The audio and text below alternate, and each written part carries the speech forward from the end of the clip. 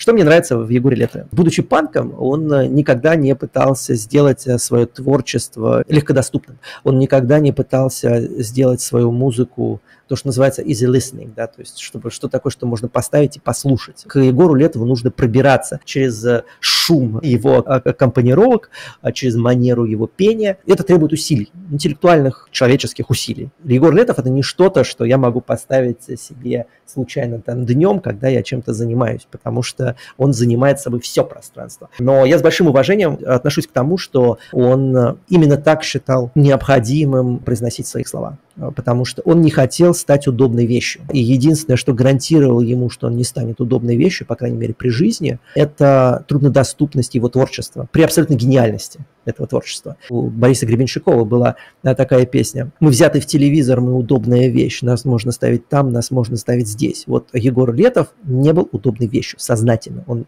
защитил себя от этого своим творчеством, своей манерой подачи, своей экспрессией, и я это уважаю.